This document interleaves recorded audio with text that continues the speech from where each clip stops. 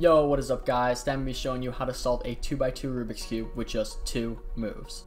Now, the first thing you're going to want to do is scramble the cube. It doesn't matter how you scramble it, you can kind of just scramble it any way you want. Just make sure it's uh, kind of nice and scrambled. This looks good.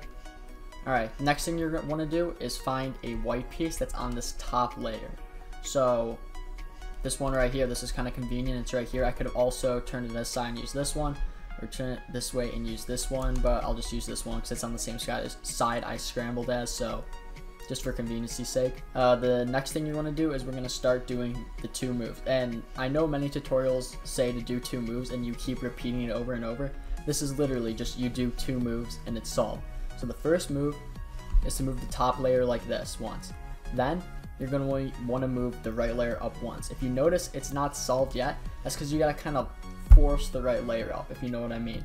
You gotta kind of do it, you gotta move the right layer hard. So just like that, and now it's solved. So that's about it. Uh, thank you for watching. Make sure to hit that like button, hit that subscribe button, and let me know what you want to see next in the comments. Thanks.